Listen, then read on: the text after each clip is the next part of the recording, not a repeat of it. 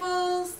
As you can tell, today's video is quite different, and if you're wondering why, I guess that's because I am sharing the spotlight today with my Essie. So the reason I am sharing the screen today with Essie is because a few days ago it was moving day here in Quebec. So what that means is that not only is everybody busy with moving and packing and settling into their new place, they are also getting rid of their beloved fur babies.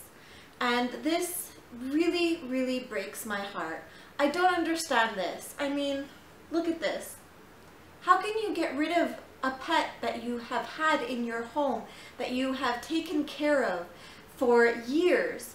I don't understand. I really don't understand this.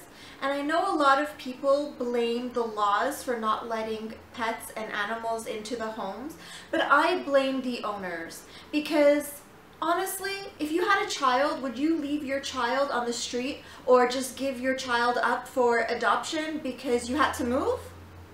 That seems ludicrous, doesn't it? Well, it seems ludicrous for leaving your pet for the same reason. If you're not allowed going into a place that doesn't have pets, don't move there. It's that simple. It's just time to give our fur babies extra love and care and treat them as we should. The SPCA is overflowing with animals these past few days. And why is that?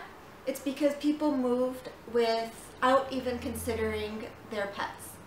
This is sad. So that is all for today's video. Please give Essie a paws up and a purr of applause.